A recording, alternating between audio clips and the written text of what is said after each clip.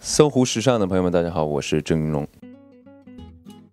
这是迪奥品牌风格化的优雅和华丽，包括做工很细致，嗯，我都很喜欢。运动鞋，对，很不一样，我觉得设计蛮特别的，嗯，有几双我都挺喜欢的。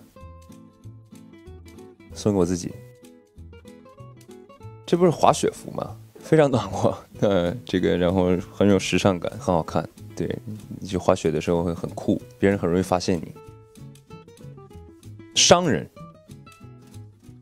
因为我干的事情都是跟我专业有关系的，包括今天也是这个活动，也跟我专业，就是提高一下我的审美，可能对这个设计啊、理念啊，就是刺激一下你设计方面的灵感嘛。因为以后你要自己做作品的话，肯定这些东西都要灌入你自己的想法，对服装也好，对舞台也好，它是一个审美方面的另一种哲学，另一种思维方式，所以这个拓宽一下都是好事情。